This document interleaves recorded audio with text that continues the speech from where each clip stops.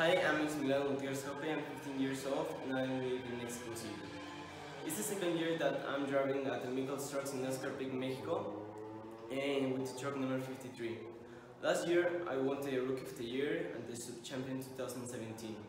Right now I'm the first place in the series and I will do my best to win the final.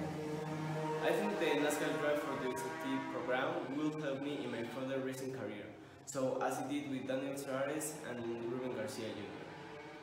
I'm sure that learning from the experts will give me more experience and more tools to become a better and more professional driver. So I'm sure I could reach it with this program.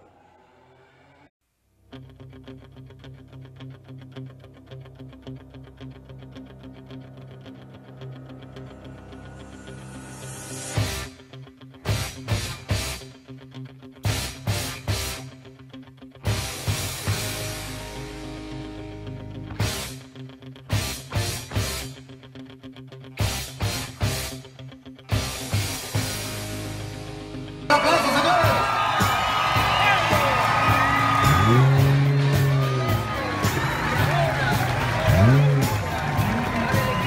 Gran carrera de Max quiere ser campeón de la categoría.